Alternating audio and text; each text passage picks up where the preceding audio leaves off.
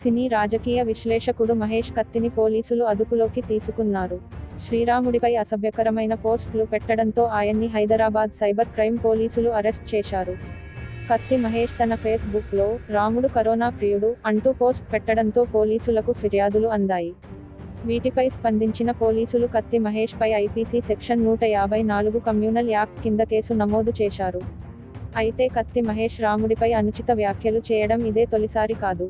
రెండు వేల పద్దెనిమిదిలో రాముడిపై ఇలాంటి వ్యాఖ్యలే చేయడంతో నగర బహిష్కరణ చేశారు.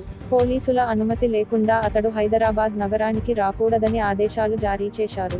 పలు హిందూ ధార్మిక సంఘాలు నిరసన వ్యక్తం చేయడంతో పాటు శ్రీరాముడిపై కత్తి మహేష్ అనుచిత వ్యాఖ్యలను నిరసిస్తూ శ్రీపీఠాధిపతి స్వామి పరిపూర్ణానంద స్వామి ధర్మాగ్రహ యాత్ర పేరుతో పాదయాత్రను చేపట్టారు. అయితే అప్పట్లో పరిపూర్ణానంద పాదయాత్రకు పోలీసులు అనుమతి నిరాకరించారు. అయితే ఇంత వివాదం రేగినా మళ్ళీ కత్తి మహేష్ హిందువులు మనోభావాలు దెబ్బతినేలా రాముడు కరోనా ప్రియుడు అంటూ అనుచిత వ్యాఖ్యలు చేయడం వివాదాస్పదంగా మారింది.